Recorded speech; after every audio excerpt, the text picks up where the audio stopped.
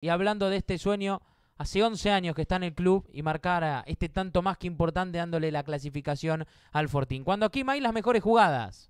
Allí primero la tajada de Ramil, aquí respuesta inmediata y la oportunidad que perdía Machena en los primeros 45 minutos, el ángulo cerrado y el intento del número 9 por abrir el marcador. Después esta pelota nuevamente allí el centro por derecha y nuevamente el número 9 que no, no puede convertir el primero. De pelota parada intentaba Cabrera la pelota que se iba por encima del travesaño. Allí la infracción.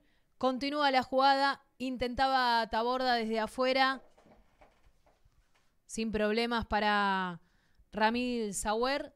Después, en otra instancia, allí la pelota en dirección a las manos de Tazo, el arquero independiente que había respondido bien en cada una de las jugadas.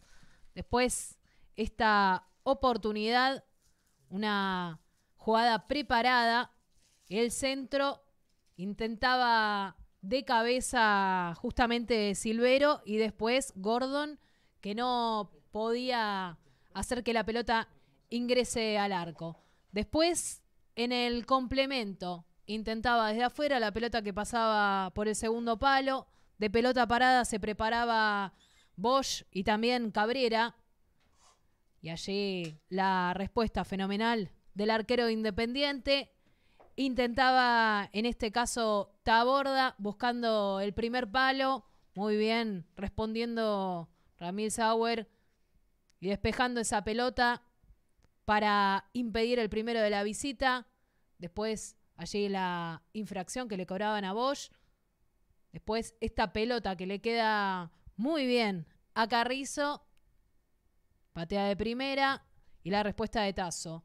Y a los 40 del segundo tiempo pasaba esto, una gran jugada colectiva de Ramírez para Carrizo, exquisito el pase para Bosch, que terminaba cruzando esa pelota y convirtiendo lo que sería el gol de la victoria cuando Vélez tenía un jugador menos, el festejo, ¿no? De todo el grupo, porque sabían que no quedaba mucho tiempo que lo había aguantado bien, se termina agrandando el Fortín y todavía había generado una más sobre el final, porque fíjate esta pelota que le queda eh, muy bien a Carrizo en ese mano a mano y no puede extender la diferencia. Y nuevamente una más. Trató Independiente sobre final con este gran remate de Santiago Hidalgo, pero no pudo.